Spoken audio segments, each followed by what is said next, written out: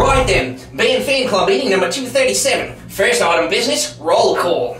Michael! Present. Troy! Troy! Present. Good.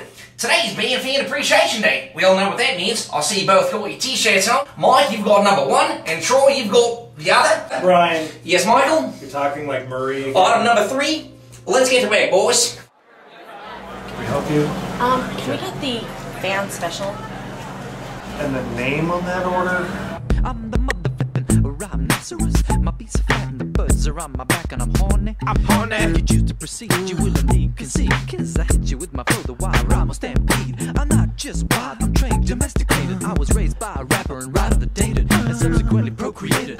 That's how it goes. Here's the hip hop hippopotamus, the hip hop hip They call me the hip hop eponymous. My lyrics are bottomless.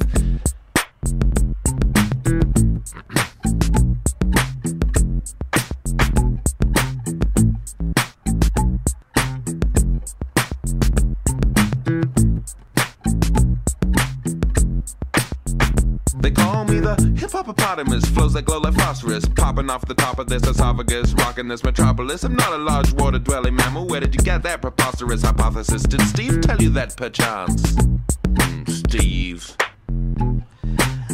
rhymes and records, they don't get played because my records and rhymes, they don't get made. And if you rap like me, you don't get paid. And if you roll like me, you don't get laid. My rhymes are so potent that in this small segment I made all of the ladies in the area pregnant. Yeah, sometimes my lyrics are sexist, but you lovely bitches know should know I'm trying to correct this. Other rappers dismay. Say my rhymes are sissy.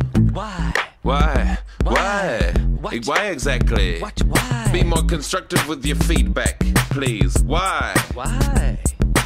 Why? Cause I rap about reality. Like me and my grandma drinking a cup of tea. There ain't no party like Bananas Tea Party. Hi, ho. I'm the mother flippin'.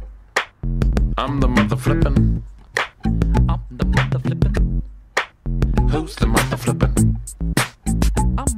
I'm the mother flippin'.